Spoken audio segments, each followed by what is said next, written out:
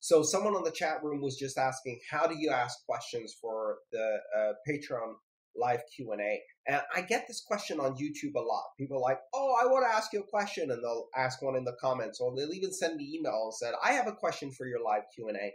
Um, so let me clarify how this works. First of all, the, the live Q&A is a reward for the supporters on Patreon who offer a monthly subscription to help me get my work done, to help me get education out to the world. So, first of all, thank you for your support. It's really important.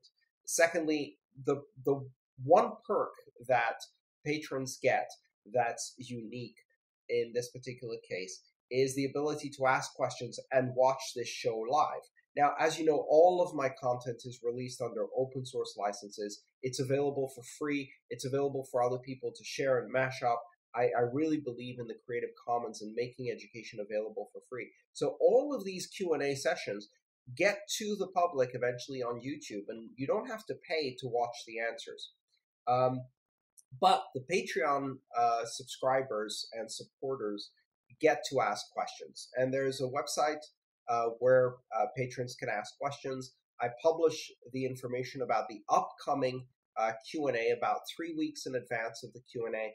Uh, and in that post on Patreon, which is obviously only for patrons, uh, it's a hidden post, you can find out where you can ask questions. Um, not just ask, but also comment on questions as well as vote. So you can vote on other people's questions, and that way I get to answer the questions in the order of the most voted questions and actually most interesting questions um, for my patrons. So thank you for asking that. That's how you ask questions.